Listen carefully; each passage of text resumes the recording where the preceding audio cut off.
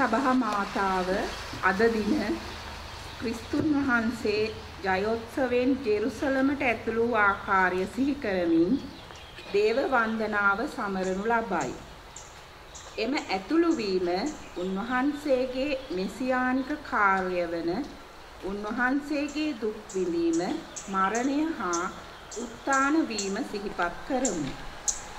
අද දින ජනවන්දනා පිළිවෙතෙහි දේව වචනය මගින් යෙසායා දිවස් ප්‍රසාදිතුමන් සමිදානන් වහන්සේගේ සේවකයාගේ කීකරුකම පිළිබඳව අපට ගෙන හැර දක්වයි. ජේසුස් වහන්සේ යටහත් පහත් වූ හේයින් සියල්ලන්ට වඩා උසස් කරනු ලැබූ බව සුතෝ පාවුලු තුමන් විසින් පිලිප්පිවරුන්ට ලියන ලද හසුනෙන් පෙන්වා දෙයි. සුවිශේෂක මතෙව්තුමන් විසින් ලියන ලද ක්‍රිස්තුන් වහන්සේගේ දුක් ප්‍රාප්තිය අද අපි මෙනෙහි කරමු.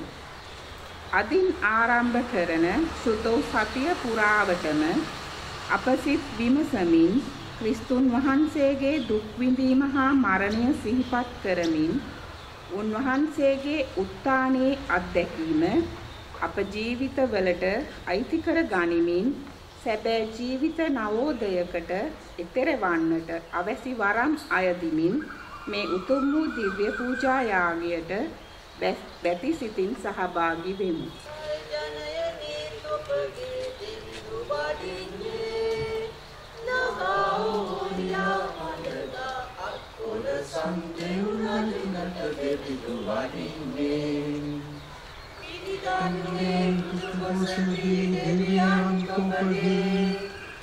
අපත ඉහළ රජපතියේ සමිදානුවානෝ යත සුදුසු තාම් වෙති ඔවුන් වහන්සේ මුළු ලොවටම ඒ සුවිදෝ එකනා පන්නෝ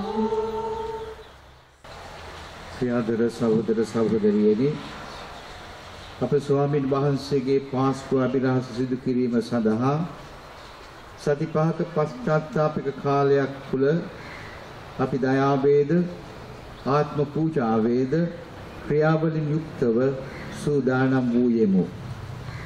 ලෝකුරා පැතිර පවත්නා මුළු මොහොත් මහත් සුද්ධ සභාව හා සමග ඒකාබද්ධ වී මේ පරම ගහම්බීර උත්සවය පවත්වනු සඳහා අද අප සමදෙන මෙසේ එක් රැස් වී සිටිමු. අප ගැලුම් කරුවාණන් වන ක්‍රිස්තුස් වහන්සේ උන්වහන්සේගේ ගැලවීමේ කාර්යය දුක් විඳීම දිවිපිදීම හා උත්ථානය මගින් සම්පූර්ණ කරන පිණිස තමන් වහන්සේගේ පුරබරයට ජය උත්සවයෙන් යුක්තව ඇතුළු වූසේක උන්වහන්සේගේ ඒ ගැලවීම දායක ඇතුළු වීම භක්තියෙන් හා විශ්වාසයෙන් සිහිපත් කරමින් උන්වහන්සේ අනුව යමු. උන්වහන්සේගේ කුරුසය මත බිඳි දුකට අපගේ ජීවිතයේ දුක්ඛම් කොටළු එකතු කොට උන්වහන්සේගේ උත්ථානයෙන් ලැබෙන අභිනව ජීවිතයටත් හවුල් වන්නට ප්‍රාර්ථනා කරමු.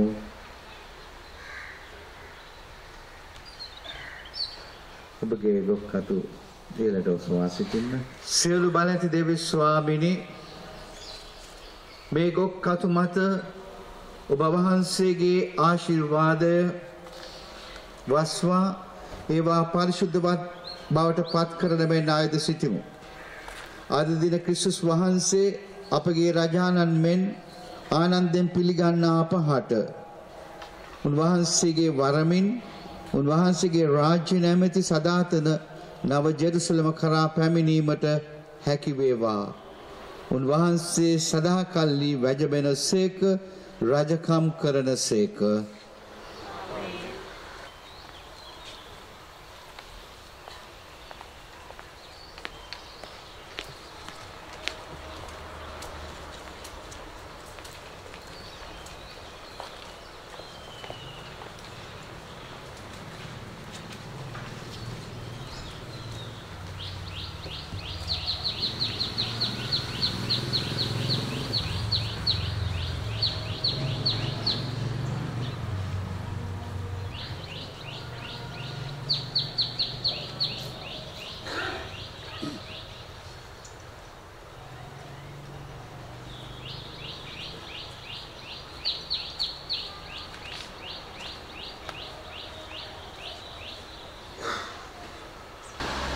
ස්වාමින් වහන්සේ ඔබ සමග වනසේක්වා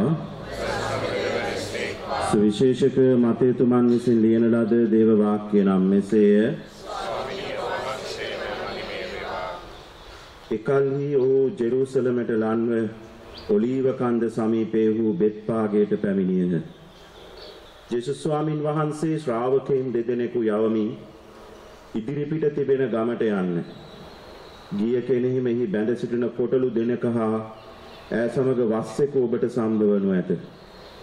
උන් ලිහා මා වෙතට ගෙනෙන්න. යම් කෙනෙකු යමක් කීවොත් ස්වාමින් වහන්සේට උන්ගෙන් වැඩක් ඇතැයි කියන්නේ.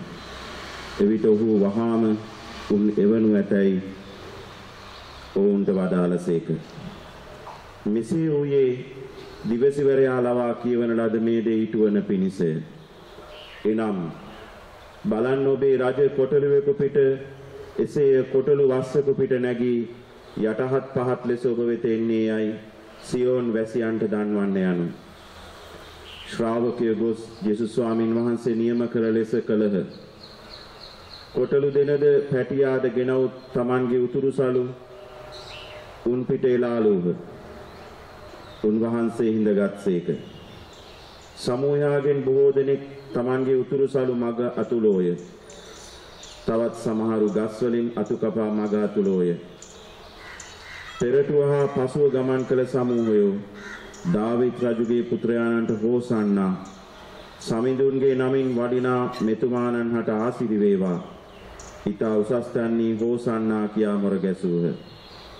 උන්වහන්සේ ජෙරුසලමට පිවිසි කල මුළු නුවර වැසියෝ කැළඹි මේ කවරක් දැයි ඇසූහ. සමූහයෝද මෙතුමානෝ ගලීලේ නාසරෙත් නුවර දිවසවර ජේසුස් වහන්සේයයි පිළිතුරු දුන්නා.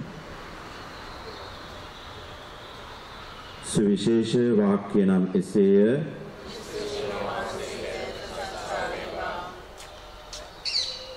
ප්‍රේමවන්ත සහෝදර සහෝදරියනි දැන් අපි මේ උදෑසන සුද්ධ සත්‍ය ආරම්භ කරන අවස්ථාවේදී ඒට පසුබිම වන්නේ ජෙරුසලම් නගරයයි. ජෙරුසලම් නගරය මේ වන විට ඉතාමත් ජනාකීර්ණ නගරයක් වෙලා. ඒකට හේතුව යුදා ජනතාව ඒ නගරේ පමණක් නොව නොයෙක් ප්‍රදේශ වලින් පැමිණෙනවා පාස්කු මංගල්‍යය සමරන්නට. ඔවුන් එජිප්තුවේ වහල් බවින් මිදී නිවහල් භවයේ මංගල්‍යය පවත්වන්නට. ඒ නිසා ඒ ජනාකීර්ණ නගරයට තමයි අපේ ස්වාමින් වහන්සේ ජේසුස් ක්‍රිස්තුස් වහන්සේ අද යන්නේ. උන්වහන්සේ මේ පරණ ජෙරුසලමට ගමන් කරන්නේ අලුත් ජෙරුසලමක් සඳහායි. ඒ අලුත් ජෙරුසලම ජනතාවට ලබා දීම සඳහායි. ඉතින් උන්වහන්සේ මේ පෙරුම් පුරාගෙන නව ජෙරුසලමක් ගොඩනගන්නට පරණ ජෙරුසලමට යන ගමනේදී ඒ වටේ පිටේ හිටපු ජනතාව උන්වහන්සේට එකතු වෙලා ජයഘോഷා පවත්වනවා. උන්වහන්සේට හෝසන්නා කියලා ඕල්වර්සන් දෙනවා. නමුත් ප්‍රියාදර සහෝදර සහෝදරි හෝසන්නා කියන වචනය අද ටිකක් වෙනස් වෙලා. ක ජය වේවා කියන අදහස තිබුණත් ප්‍රීති සන්තෝෂයට කරුණක් තිබුණත් එදා ඒ ජනතාව හෝසන්නා කියන වචනය භාවිතා කළේ අපව බේරා ගන්න කියන වචනය. අර්ථයක් ඇතුවයි.